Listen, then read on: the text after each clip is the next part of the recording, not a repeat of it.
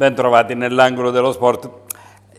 Forse avrei dovuto ritardare il, il, il, telegiornale, ma il nostro è un palinsesto preciso, come tutti eh, i palinsesti delle varie televisioni, per cui non posso adattarlo alle esigenze della cronaca.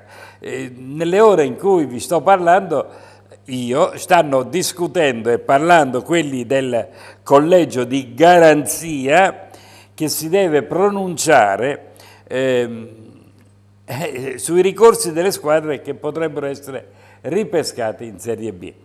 Ho detto che nel momento in cui vi sto parlando è probabile che abbiano già concluso, comunque sia, domani poi ne parleremo più diffusamente. Quali sono le squadre che sperano? Catania, Novara, Provercelli, Siena, Ternana, ed Entella sperano. Beh, siamo a 19, squadre adesso ne potrebbero diventare 22, quella che pare che sia questa la, la, eh, la scelta finale, ma è, è, è inutile stare a, a fare dei preventivi o delle previsioni.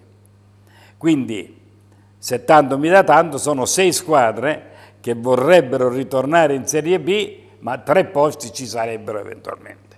Ma non ho parlato ancora dell'Avellino, la quale società avellinese ha cominciato a fare, come si dice, eh, il 48. Il 48 è un ricordo eh, del, della rivoluzione a, a Milano, stiamo parlando del risorgimento.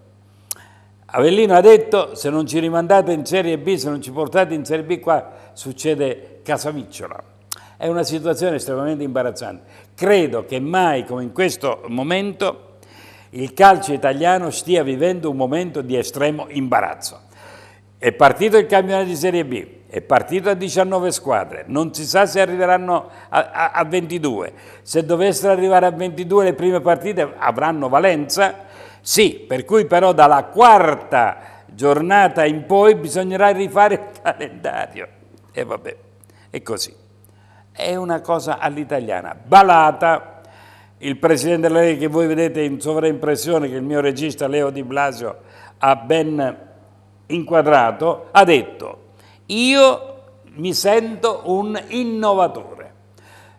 Abbiamo studiato tutti che il campionato deve essere fatto con delle squadre capaci di reggere il peso delle, della gestione, 19 erano le squadre mm, papabili, le altre no, quindi se devono entrare per rifare altro casotto, perché tanto alla fine salteranno perché non hanno i soldi per sopravvivere, allora che siano a casa. Vabbè, eh, due minuti se me li concede Leo per parlare un po' del Pescara.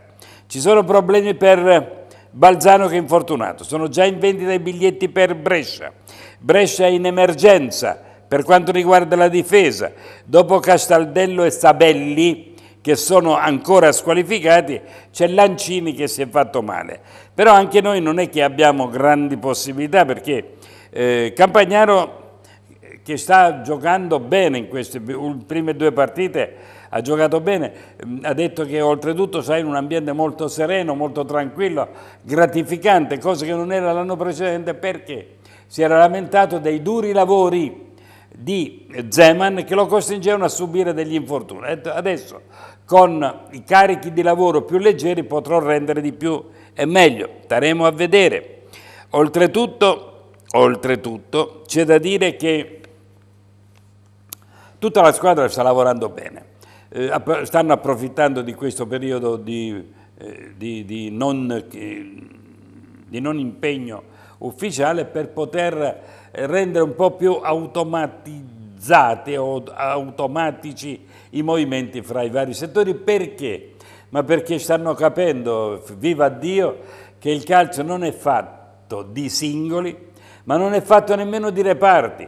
Tutti devono lavorare insieme in un unico coacervo di azioni atte a portare il pallone nella, dentro la porta avversaria. È detto questo posso anche chiudere. Leo, grazie per la tua splendida collaborazione, grazie a voi tutti per, il, eh, così, per la eh, fidelizzazione, state sempre a, eh, costantemente a seguire la mia rubrica, quindi un affettuoso abbraccio da Gianni Lussoso e appuntamento alle prossime edizioni di TVQ Sport.